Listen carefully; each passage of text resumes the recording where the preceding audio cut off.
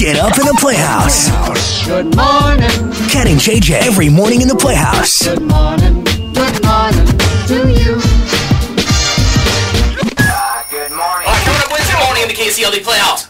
745. Win your family five pack to go check out the River Bats versus Alexandria at Joe Faber Field at 745. At where?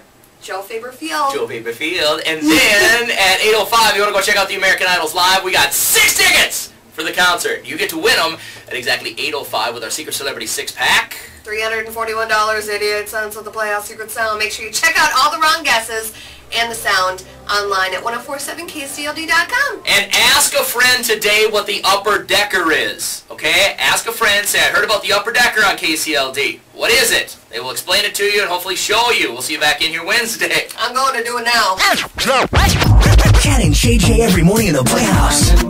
Good morning, Waking up Central Minnesota exclusively. Exclusively.